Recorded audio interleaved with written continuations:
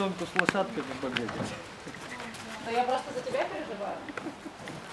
Не, я убегу, если что. Авось забор сломает, за тобой побежит.